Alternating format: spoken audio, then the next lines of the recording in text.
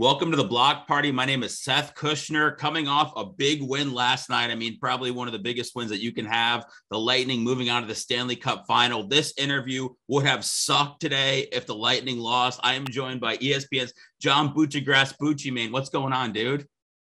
Good to see you. Congratulations. Uh, three in a row. I'll be heading to Denver Tuesday to begin ESPN's coverage, and uh, great to be part of a Stanley Cup final again. Last time was 2004 when ESPN had hockey and the Lightning won that Stanley Cup. They beat the Calgary Flames in seven games. So, kind of a deja vu.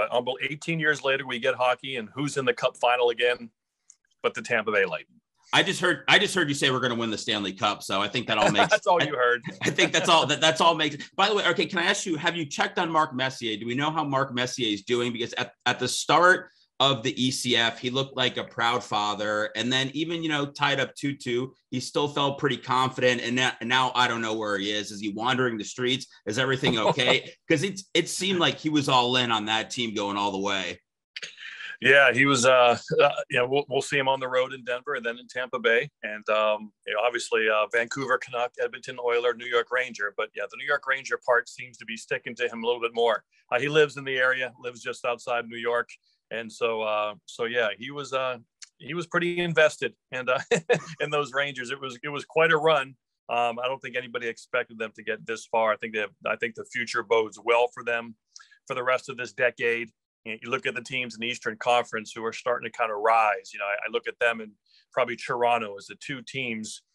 You know, what's going to happen these next five, six, seven years as the Lightning obviously slowly age out a little bit. Who knows? Maybe they'll reload and figure it out and keep going, especially with the goalie's only 28. I mean, geez, you have five to seven more good years of him. Yep. So uh, their window is certainly not closed yet.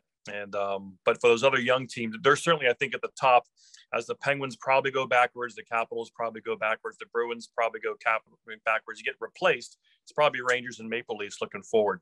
I want to talk about somebody that you were tweeting about uh, the last couple of games, and that's Ondrej Palat. And you were talking about all the incredible things that he's done in this postseason. And something I, I wanted to bring up is I'm sure you know, obviously, everybody, I think every team in the NHL, I feel like had a chance at Ondrej Palat this offseason. I feel like anybody, if they would have offered any sort of asset to JBB, I feel like he would have taken it for them to unload the salary. It was a big deal for them to mm-hmm. finally unload Tyler Johnson. And it was like, okay, nobody wants our first liner. That's fine. We'll just take him and figure it out again. What has impressed you so much about Palat?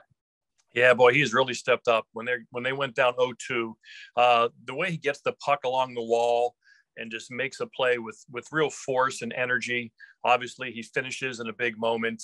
Um, obviously, he's very well respected and and liked throughout the league. People don't really mess with him when he shows up. Everything kind of just diffuses. He has so much respect from his peers, kind of like that Nicklas Lidstrom quality that he always had. Uh, so it's a great position to, to, be in as a player. Players probably won't make cheap runs at you. Uh, you still got to play physically, but just his all around game. And I mean, the pass he made you know, last night to Kucherov, who then fed Stamkos. That was just an absolute dime, uh, about a hundred foot pass. And uh, so, yeah, he, I, I talked about it. He's probably the most under the radar, unrestricted free agent. Um, I still wonder if there's a path to stay in Tampa if they give him a lot of term. Can they keep the number down around five? Because you know, why wouldn't they keep a guy like him around for five million a year? How are they going to do better than that? Well, listen, I don't know anything. They don't tell me anything here. I'm the last person to know. I, you know, I normally get my sources from like the security people at Amalie, but I, I feel like the move that they made for Hagel um, was probably a move to replace Palat. And I and I think mm-hmm. hopefully now the big they're going to probably look to re-sign Nick Paul. I think that's probably going to be something they look to do. By the way, John, how did they get Nick Paul? How did they get Nick Paul for Mathieu Joseph? This guy looks. I mean, his nickname is Nick Paul does it all. I talked to the kid. Uh, he's a hell of a guy, and and now he is absolutely playing the kind of hockey that wins you playoff games. How did the Lightning just get him under the radar? That is amazing because you know people were talking about him all year. I didn't understand why Ottawa, a, a, team who's kind of on the rise, could use a player like that. He was he won't be that expensive. You know, he's not a real dynamic offensive player. He, a lot of times you'll see he has low assist totals for a reason. I think he's not the greatest playmaker. Maybe he can learn that, but the way he shuts people down at the end of games, the way he he shadowed Auston Matthews in the Maple Leaf series, he was so noticeable last night, winning battles, clearing the puck icing on the PK. You know, the net's empty. You want him out there. um, a guy who can make one-on-one moves. And I think he'll probably continue to be better and better at that as he continues to learn moves. Maybe he can become a 15 to 20 goal guy, but he certainly has a lot of value. And uh, and the price probably might have gone up a little bit on him, not a lot, but a little bit because of how he's performed in the postseason. Let's face it, you you know when you build a roster, you really primarily build it, you know, first to make the playoffs, but then to do well in the playoffs. And he seems to be a guy who's going to be a playoff guy, like you said, almost like a Palat uh, as well. You mentioned Hagel. I thought Hagel's best game as a Lightning was last night. I did not see him with that kind of energy and that kind of pop all year long. Kind of a shy, introverted guy, but now he's all in. We saw. I've watched Quest for the Cup on ESPN Plus great feature. I got caught up the other night, watched every episode, and at one, in one of the games, he introduced the starting lineups, and he was really screaming and yelling, and you could see now he's starting to get comfortable with the team. Nick Paul just shows up and he's, I'm ready, I'm comfortable. But you know, some other people, it takes a while. I think it took Hagel a while. And boy, last night, the way he's Cirelli and Killorn played, I think it's good that they didn't score last night. They are so due to score. If they can pop in the final, you know, Killorn hasn't scored. Cirelli has no five on five goals. Um, Hagel's got the empty netter. Man, if they can get that line going with Palat, Stamkos, Kucherov, now they're starting to get layers again. And if they get Point back, and to get Perry back to the fourth line, which I think he's better at because he's putting too much pressure on himself to score when he gets slotted up. Yeah. You can see it on the power play the other night in game five. It's like, I, I don't want to shoot now because I have all these great chances and I'm not putting it in. Mm-hmm. So, man, they're sneaky in a good position here if they get Point back. Is this, is this crazy? I, I want to talk about some of the crazy things you've done in your career, but it, to me, this is, I feel like there's so many different like statistics and records going on here. It's hard to grasp two things. Obviously, Pat Maroon going to his fourth straight Stanley Cup, and now you've got Corey Perry going to his third straight Stanley. Cup. Like these are these are crazy things, right? You you probably are so happy you've got enough storylines for two yeah. years now.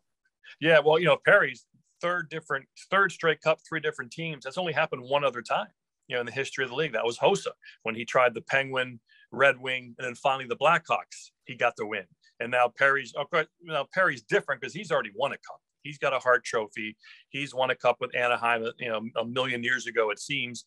But if there's anybody who lives hockey and just that face is just a hockey face, every every year is is life or death for him. It doesn't matter if he'd won five cups, he's still going to go out there and it's life or death for him. Those are my favorite kinds of athletes. We know it's not life or death, but it has to be kind of like life or death.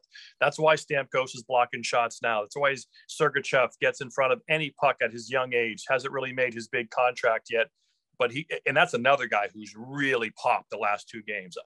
Scoring that goal must have given him such a shot of adrenaline because last night he was a monster. Last night, eating up ice and defending, blocking any kind of shot. Um, so it, it's really amazing how they, like I said, Hagel rose up, Sergachev rose up. Um, Stamkos has been so consistent throughout this postseason. I got him now slightly above Kucherov as the number one Lightning Conn Smythe guy if they go on to win. Um, just uh, really impressed by Stamkos. I think he really elevated his reputation throughout the league the respect as a player, and he's he's really kind of you know he's always always put up the big numbers, but he got kind of pigeonholed as a stationary one-time just slot machine kind of guy. But now he showed the complete game this postseason. Wow. So people, I mean, I know a couple people around the league. Some people thought that Stammer was washed up, and you know, because of the injuries, like that. I had heard yeah. people actually say that. I mean, was was that the thought that Stammer was on the the decline because this is the best year of his career? Even before they won, even before they started going on this run, which he, you know, granted he really wasn't a part of in the end. Um, even before that, when they weren't winning and getting swept by people kind of looked at him was like nah, i don't know he just kind of stays in one spot he waits for the one timer doesn't play a 200 foot complete center game you know move to the wing a little bit now just like i said on, on that offside and the one timer.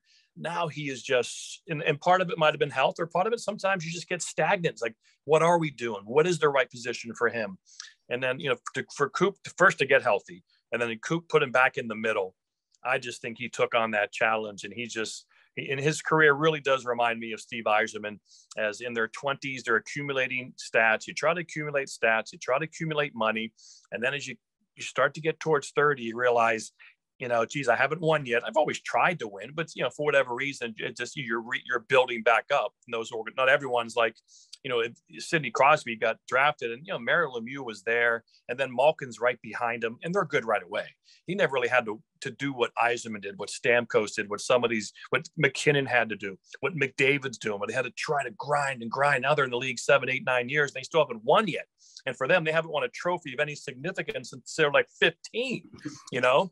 And so that starts to really weigh on a guy like that, especially an elite athlete who is just far and away better than everyone else. So I think Stammer, he, he was getting that slight reputation of just being a goal scorer, stat accumulator. And, and now it's, it's, it's really fun to watch. I've been a big fan of Stammers for a long time. Ever since he came into the league, I had a chance to interview him. I did a radio show and they brought him in when he was 18, you know, and I followed his career ever since. And, you know, one thing about Stammer, even when he's been injured, that I don't think a lot of people would talk about is just everything that he does off the ice, you know, for the players when he's around the guys. He tries to help everybody grow. He's the first one to reach out to guys when they're, you know, traded or signed to the team. And I really learned that about him and learned that he's trying to do everything he can to help this team, if, even if he can't be out there on the ice. So to see him now dominating on the ice and just having it all come together. And now, like you're talking about, you know, it's kind of like he's getting the respect he deserves. It's, it's really an awesome thing. He's a, he's a great guy.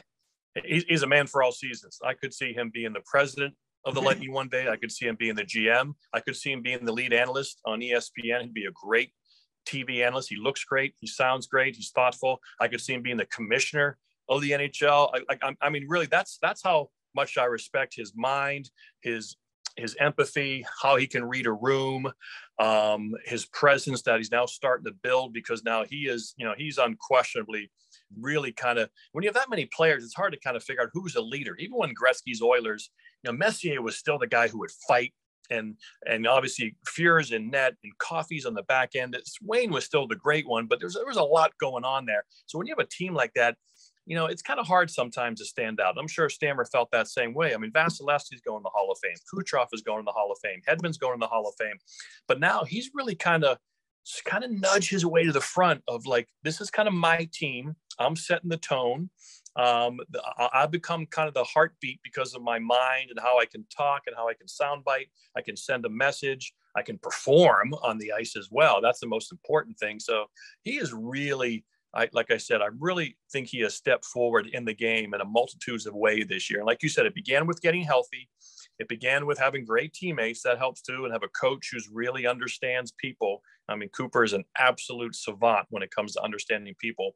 So it's just it's now a perfect storm of talent, organization, ownership, uh, the coach, and now, like I said, I really do think Stammers kind of nudge his way to the front, and he is really the leader of this team. Man, Bucci, I could listen. I'm all fired up. I could talk about the Lightning all day. We're going to come back to it because I want to talk about some of the things you've done in your career. Um, whose idea was it to thumb wrestle the Rock back in the day? Was that your idea? Was that a, was that was that a producer? Because that's brilliant.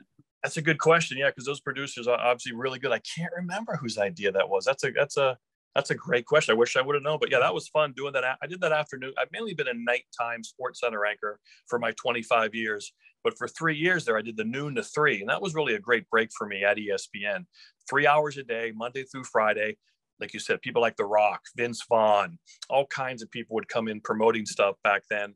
And, you know, and I don't know how much what my bosses thought of me back then, but when you're on noon to three, you know, everybody at work at ESPN, that's when everybody still went to work. And a lot of people at ESPN, they don't have their TVs on, obviously. You know, the TV's on, Sports Center's on all day. And I think they realized, well, that guy's not bad, you know, because uh, so it was almost like a three hour a day audition.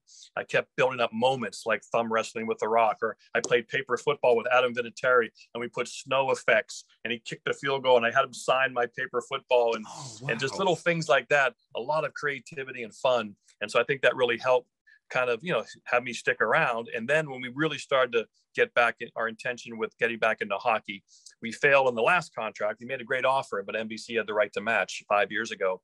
And so i think they realized okay we're going to do this. Let's keep this guy around because he's one of the hockey guys we have here and that's helped me stick around for 25 years. Well, you've you've done a hell of a job, and that's why you have stuck around. So when ESPN gained the rights and obviously brought in a slew of talent, tell me, has there been anybody that you've kind of connected with or clicked with that they brought in that you know you hadn't before? Yeah, that, that's and that's the true blessing. You know, Sports Center is such a big giant giant Walmart kind of a thing. It's just so big and spacious. Lots of people don't work with the same people. The intimacy of the hockey group that we now have is really right up my alley. It's really enhanced my job, my life. And so, yeah, so meeting people like Ryan Callahan and I have really hit it off. Um, really enjoyed, you know, working with him and, and trying to both of us get better at our new jobs. Me as a play-by-play guy, really for the first time in the NHL. You know, the first game I ever did was opening night this year in Las Vegas. You know, Seattle and Las Vegas. I was surprised they asked me to do it. Um, been doing college for 15 16 years with the hope of getting a play-by-play reputation and game to take to the nhl and thankfully that's now happened but ryan's been ryan's been great uh, kevin Weekes you know i've known a little bit been great hanging around him. John Tortorella has been really fun to get to know Torts and have him text me sometimes while this game is going on, and he'll just blurt something out. is so funny to me. And uh, so yeah, and, and, even you know AJ Mleczko just love being around AJ and so much respect as a gold medalist and national champion at Harvard, and Patty Kaz, which is their Hobey Baker Heisman Trophy Award. So uh, so many men and women uh, to, uh, with this hockey group. It's been such a blessing. Most people, if they're at their same job for 25 years, they're kind of they're kind of counting down the days to when they can leave. I feel like I'm just starting again. So to, to have that kind of infusion of enthusiasm at, after being in one place for so long at my age, I mean that, that's a great blessing. Well, and, and I love Ryan Callahan. What kind of future do you think he has in TV? Do you think the sky's the limit for him also? I do. Like I, I, I, keep trying to tell him, you know, Ray. I mean, Ray Ferraro certainly is, is one of the best in the game right now, and I keep trying to tell him, go back and listen to Ray when he was in his first or second year at ESPN, back doing NHL Tonight with me back in 1999, 2000. He wasn't Ray Ferraro yet. You know, he it, it takes time, and and so Ryan has the analytical uh, brain that uh, Ray has. He has the passion and fire uh, that Ray has. He can turn on a dime in terms of emotion and temper, like Ray does. They're very similar. You know, uh, you know, one's got an Irish name, one's got an Italian name, but sometimes the Irish and Italian are, are more alike than they are different. and so eh, I like those passionate people who run hot. Ryan can run hot. Ray can run hot. And so I like being around those kinds of people. So I, I know that the, the, executives at ESPN have a lot of uh, confidence in Ryan's potential. I think you'll see more of him as the years go along, as long as he wants to keep doing this keep doing TV. He could be an assistant coach tomorrow if he wanted to do do that. But yeah, you can make probably more money in TV and, and not work as hard than the assistant yeah. coach. So, uh, unless you want to be a, a, head coach and make that real big money, uh, I don't know why you would be an assistant NHL head uh, uh, assistant NHL coach unless you have bigger aspirations tell me what it's like when you're receiving a text from Tortorella about a hockey game. Because to me, Tortorella's I've never seen. I don't see him as a regular guy. Every player I've ever interviewed does. You know, they don't like. They don't go, hey, hey. You know, I was joking around with Torts. It's all very serious type stuff. Uh, yeah. Is he is he a regular guy or what? No, no. I I I see what they're saying. There is always he's always buttoned up a little bit. You know, he's always kind of on edge, always uh, very kind of like a, you know, his son's in the military. And um, I don't know if he kind of got that late and kind of respected his son so much in his life that he kind of wants to have that same persona a little bit, but he's fun. He's, you know, I, I can make him smile. I can make him kind of, you know, come on. And I, will call him out on his stuff because, you know, we're, we're close to the same age. And like I said, I'm, uh, he's not, no one's going to intimidate me anymore. So it's like, Torts, read the chicken parm tweets. He's like, okay. so it's fun. You can call him out. He likes to be, he likes, to, he wants to be one of the guys in the group um, at the same time. So it's he's got a, very interesting mind. But no, his his texts to me at night usually are just real quick burst of this. They got to do this, or see, I told you, or they're going to do this. They can't. You know, it's really fun. He's really fun and direct. I hope he get. You know, I wish another guy is really good on TV. I wish he'd retire from coaching and just work with us because he'd be awesome. But um, I think he, you know, he wants to get back into coaching. I think he'll get one of these jobs that are open. Um, and so we'll probably lose him. But uh, and the, so I'm hoping that's not the case. But it's been great to get to know Torts. Really enjoyed him. Does does Torts take any bit of of pleasure for potentially being the reason why the Lightning have gone off on this run? When I talked to Coach Cooper, he said he doesn't think the Stanley Cups happen if they don't get swept by Columbus. I'm um, just Tortorella go like, hey, yeah, yeah, I feel like this is a little part of that Cup's mine. I'm sure nothing like that, but does he take? Oh, any, yeah. What, what are his thoughts on it?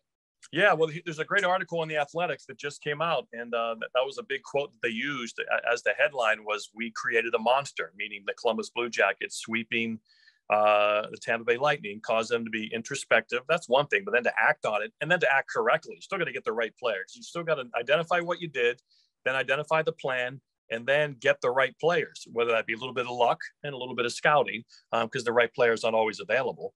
But um, but yeah, that was a, that's a great article on the Athletic, and uh, and that was one. And they obviously talked to Torts about it because that's the last playoff series they lost, the Lightning getting swept uh, in the opening round.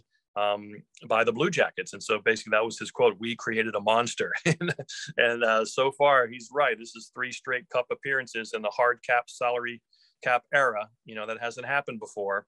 And um, so, yeah, so Torts, I think does, and I'm sure, you know, I'm sure he's using that in his interviews and talking about that. And um, as a, his plan for whatever organization he's, he talks to that this is how we'll do it too. Listen, I got to tell you, you have a you have a beautiful beard, and I know that you didn't early in your career, and it seems it's been a seamless transition. Is that like some guys just show up with a beard and they're like, oh my god, but this just seems like if they just put your face up and they computer generated it and then like they aged you, this would be like the perfect face. How's the beard gone over? Is it something that you embraced? And when did you decide that like I have to roll with this on TV now? Yeah, it was back. My son had just graduated from high school in 17. He was heading down to Florida to take a gap year because he wanted to play college golf and he had grown up playing hockey for eight months nine months out of the year never really had winters to play golf so a little behind the curve physically also a late bloomer like i was. So i said why don't you go to florida for a year? Just you know just just just take a year off of school practice golf and you know grow try to eat. And so i went down there and as it turned out I, I, had taken some vacation time in august and september. I didn't realize i took them right next to each other. So i had like four weeks vacation for the first time in my life.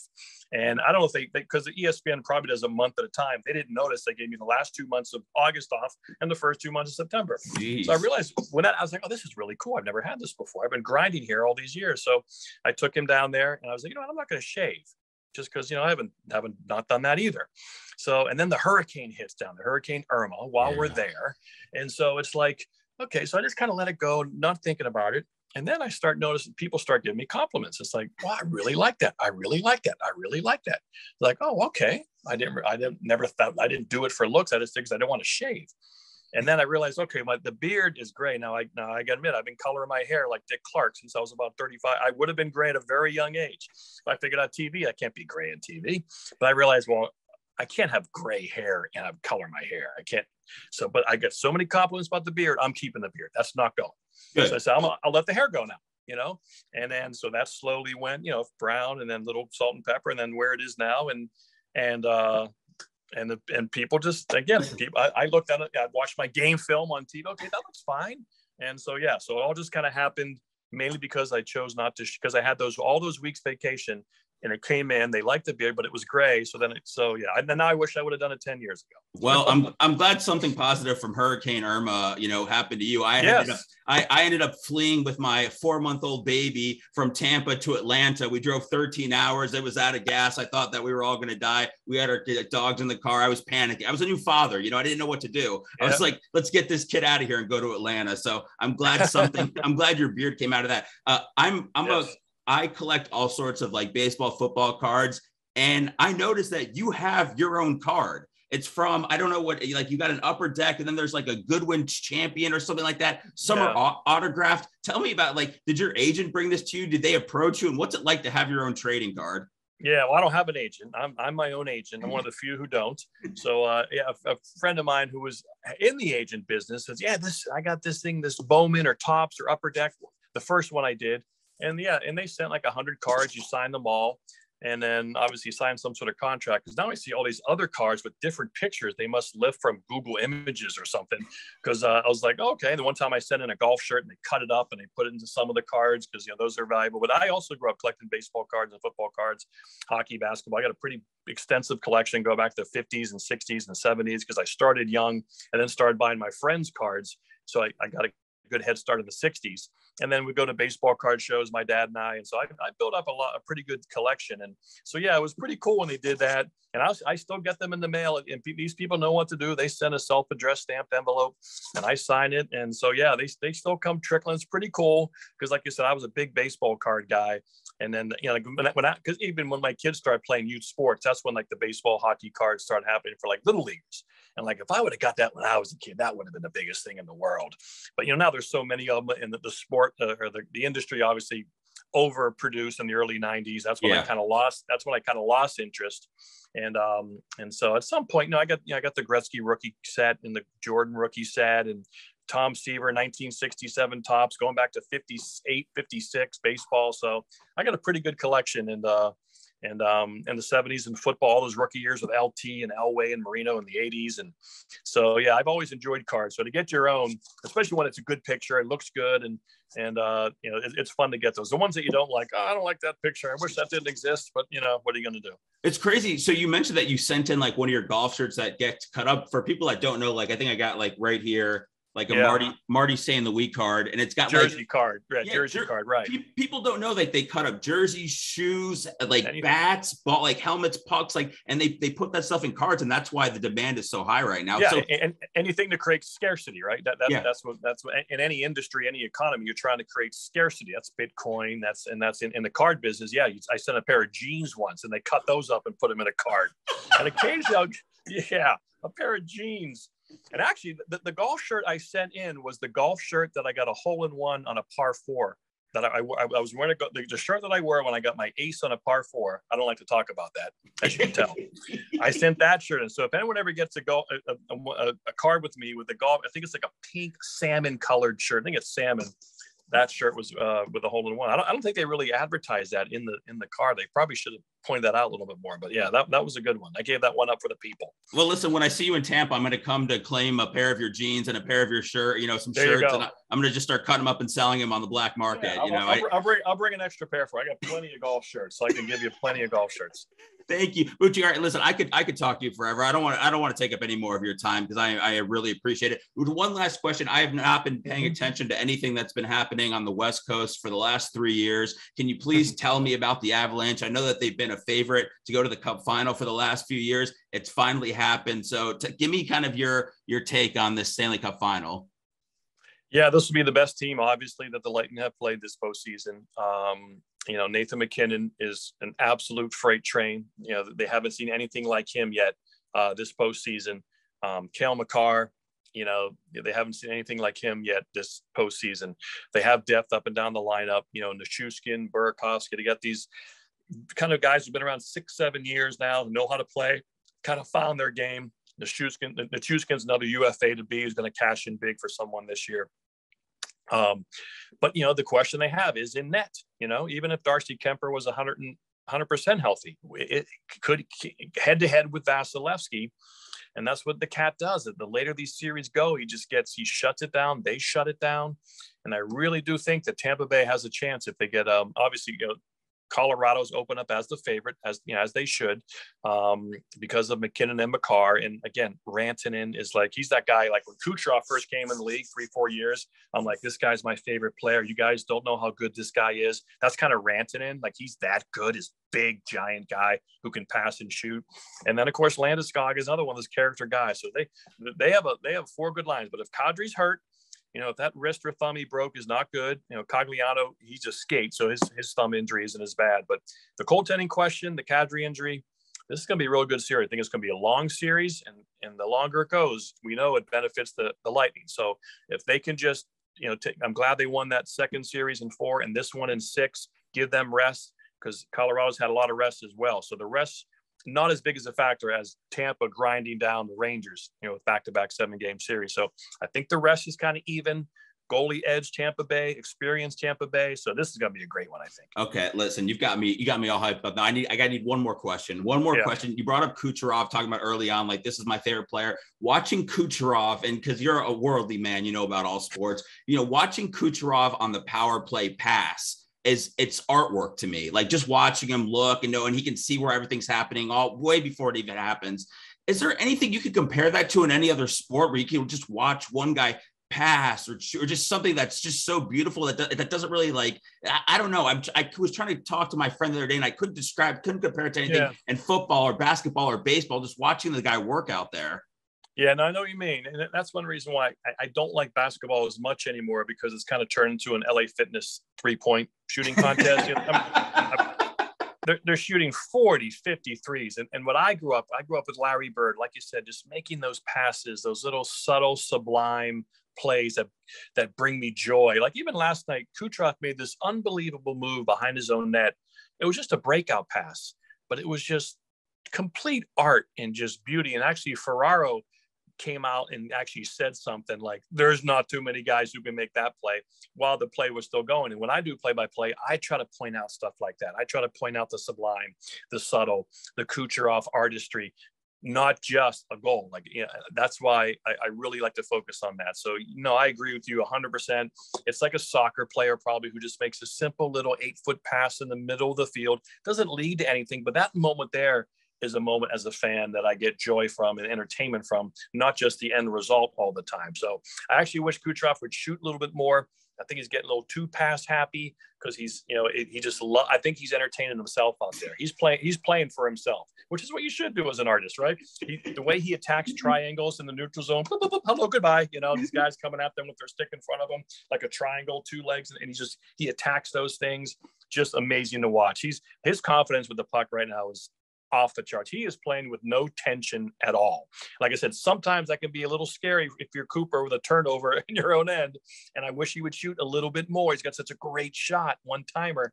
But right now, he's looking just to dish. He loves does not have a lot of five on five goals. As I tweeted last night, he's got six in his last 40 games.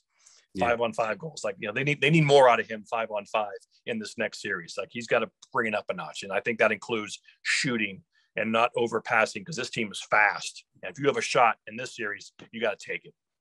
Bucci, listen, it's been an absolute pleasure. I am glad that we could have some, you know, talk about Cooch and his art of passing. It is a beautiful thing, and I'm glad that you like to point those things out. When you are down here in Tampa, I will be there. I will be claiming your golf shirts, jeans, anything that I can potentially sell. Make sure you bring it. And looking forward to having you, man. And thanks so much for the conversation. Great job today yeah, love South Florida, and uh, I say, wait, can't wait to get down there for games three and four, and then hopefully for six too.